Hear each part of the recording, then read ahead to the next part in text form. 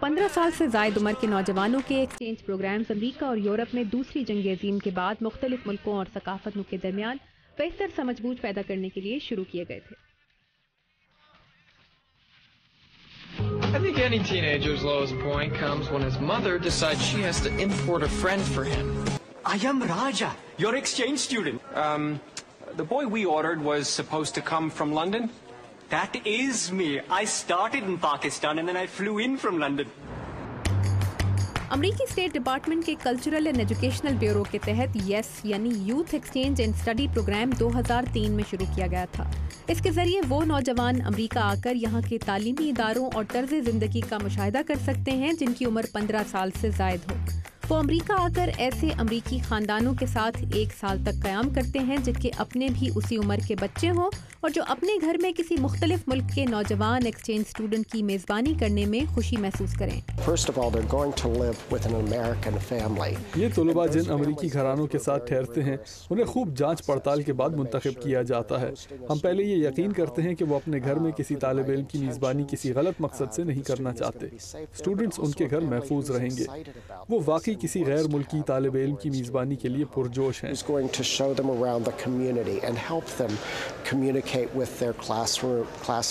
وہ طالب علم کو نئے ماحول اور اس کی امریکی اسکول اور ٹیچرز کے ساتھ گھلنے ملنے کے لیے پوری رہنمائی فراہم کریں گے۔ ہم ان بچوں کو انہی امریکی اسکولوں میں بھیجتے ہیں جو غیر ملک سے آنے والے بچوں کو بھرپور تعلیمی اور غیر نصابی مواقع مہیا کرنے کو تیار ہیں۔ ہم نے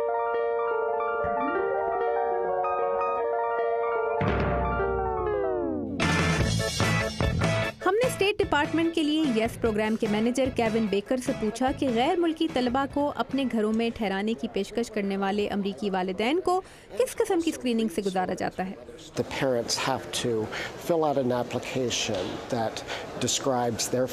ان والدین کو ایک درخواست فارم بھر کے دینا ہوتا ہے جس میں انہیں اپنے خاندان اور گھر میں رہنے والے افراد کی تعداد لکھنی ہوتی ہے۔ بتانا ہوتا ہے کہ جس ایکسچینج اسٹوڈنٹ کی وہ میزبانی کرنا چاہتے ہیں، وہ کس ماحول میں رہے گا؟ کیا اس کا الگ کمرہ ہوگا؟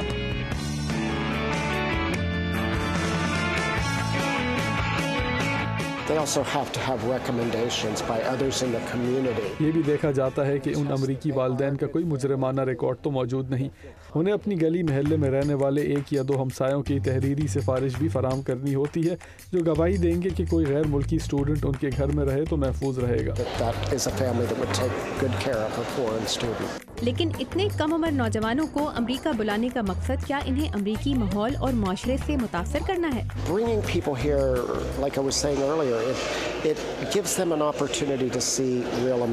امریکہ آنے والے نوجوانوں کو یہ جاننے کا موقع ملتا ہے کہ حقیقی امریکہ اس سے کتنا مختلف ہے جیسا وہ خبروں میں دیکھتے ہیں۔ تو یہاں آ کر طلباء یہ دیکھتے ہیں کہ امریکی دراصل کیسے لوگ ہوتے ہیں ان کی اقدار کیسی ہوتی ہیں۔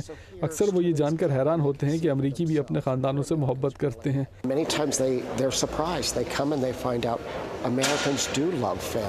ہر سال امریکہ میں مختلف ایکسچینج پروگرامز پر ستائیس ہزار اسٹوڈنٹس آتے ہیں۔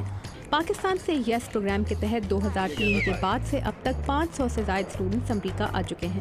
پچھلے ایک سال سے ان طلباء کی تعداد بڑھا کر ایک سو سے زائد کر دی گئی ہے۔ یہ ایک سو سے زائد طلباء منتخب کیے جاتے ہیں ان ہزاروں درخواستوں میں سے جو یس پروگرام کو ہر سال موصول ہوتی ہیں۔ درخواست دینے کے بعد یس پروگرام کے لیے منتخب ہونے کا عمل بارہ سے چودہ مہینے پر مشتمل ہوتا ہے۔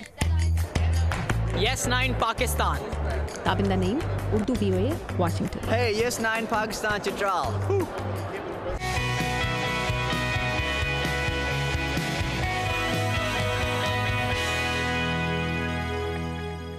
So Tabinda آپ کی یہ رپورٹ دیکھ کے ہوپ فلی بہت سے والدین کو تسلی ہو گئی ہوگی کہ اگر آپ کا بچہ امریکہ آتا ہے تو وہ محفوظ ہاتھوں میں ہوگا انشاءاللہ لیکن یہ بتائیے کہ جو پیرنٹس یہاں پہ ہوسٹ کرتے ہیں اسٹوڈنٹس کو، کس موٹیویشن کے تحت، کس جذبے کے تحت وہ حامی بھر لیتے ہیں اور بچہ پالنے کی؟ سارا جو والدین حامی بھرتے ہیں اس کی، وہ سرکاری ملازم نہیں ہوتے، اگر کوئی یہ سمجھتا ہے تو غلط سمجھتا ہے۔ وہ ایک عام ایک ایسا خوشحال امریکی گھرانہ ہوتا ہے جن کے اپنے اس عمر کے بچے ہوں اور جو کہ ان کو ایک نئے دوست فراہم کر سکیں ایکسچینج اسٹوڈنٹ کو۔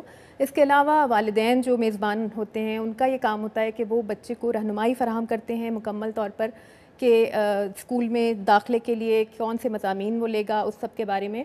اس کے علاوہ ان کی ذمہ داری اس لیے بھی بہت زیادہ ہوتی ہے کہ اگر ایکسچینج اسٹوڈنٹ آیا ہے امریکہ اور ایکسپیرینس کرنا چاہتا ہے اسپورٹس میں پارٹیسپیٹ کرتا ہے اسکول کے کلبس کی ایکٹیویٹیز میں حصہ لیتا ہے، تو ان کی ذمہ داری بہت زیادہ ہوتی ہے کہ انہیں بچے کو اسکول کے بعد آفٹر اسکول جو ایکٹیویٹیز ہیں وہاں لے کر جانا ہے لے کر آنا ہے اس کے لیے بہت توانائی تحمل سب چاہیے مطلب ایک بچہ پالنے کی طرح ہی ہے بالکل بالکل۔ تو اسٹیٹ ڈپارٹمنٹ جو ہے وہ ایک بہت معمولی سا ان کو معاوضہ بھی ادا کرتا ہے۔ لیکن یہ کہ زیادہ تر والدین یہ کام رضاکارانہ طور پر کرتے ہیں اپنی خوشی سے کرتے ہیں اور اپنے بچوں کو ایک فوراً ایکسپیرینس دلانے کے لیے کرتے ہیں کہ امریکہ میں رہتے ہوئے کیسے انہیں پتہ چل سکتا ہے کہ باہر کے لوگ کیسے رائٹ ایگزیکٹلی ہوسٹ فیملی کے لیے بھی ایک بڑا اچھا ایکسپیرینس ہوگا آئی ایم شیور اب یہ بتائیے کہ نیکسٹ ویک ہم کس فیوچر لیڈر سے ملنے والے ہیں؟ نیکسٹ ویک ہم ملوائیں گے جی اس پاکستانی نوجوان سے جس سے ملنے کے بعد اس پوری سیریز کا آئیڈیا ڈیولپ ہوا تھا اس کے امریکی میزبان خاندان سے ملنے کے بعد۔ اور ان سے ملاقات کروائیں گے، ان کے والدین سے ملاقات کروائیں گے، ان کے حقیقی والدین سے ملاقات کروائیں گے۔ اس کے ساتھ ساتھ میں یہاں پر یہ بھی بتا دوں کہ ہم جن لوگوں سے آپ کی ملاقات کروا رہے ہیں اپنے ناظرین سے جو اسٹوڈنٹس یہاں پر ہو کر جا چکے ہیں، ایک سال مکمل کر کے پاکستان جا چکے ہیں، پچھلے سالوں میں پانچ سو سے زیادہ اسٹوڈنٹس ہیں۔ وہ ہم سے رابطہ کریں ہمارے فیس بک پیجز کے اوپر، میرے فیس بک پیج کے اوپر اور ہم کوشش کریں گے کہ اگر وہ کوئی ایسا کام کر رہے ہیں جس کے بارے میں پاکستان کو پاکستان میں رہنے والوں کو پتہ چلنا چاہیے تو وہ ضرور ہم اپنی آئندہ پروگرامنگ کے اندر ان چیزوں کو شامل کریں۔ کیونکہ مقصد یہی ہے کہ نہ صرف یہ دکھایا جائے کہ یہاں پہ جو اسٹوڈنٹس ہیں وہ کیسی زندگی گزار رہے ہیں بلکہ ان کو اپرچونیٹیز اگر پاکستان جا کے مل رہی ہیں اپنے علاقے کے لیے کچھ کرنے کی تو they must also be highlighted تو آپ نے دیکھ لیا آپ ہمیں آپ کی بھی فیڈ بیک کا انتظار ہے لیکن اگلے ہفتے آپ ملنا مت بھولے گا فیوچر لیڈر کامران فاروقی ان کے پاکستانی اور ان کے امریکی خاندانوں سے۔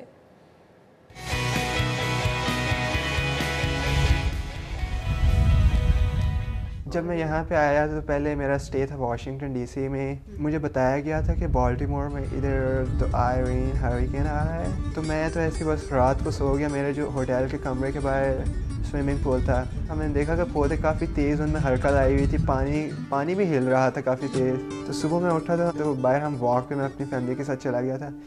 تو میں نے دیکھا کہ درخت وغیرہ یہاں پہ گرے ہوئے تھے۔ بجلی بھی نہیں تھی یہاں پہ شروع میں۔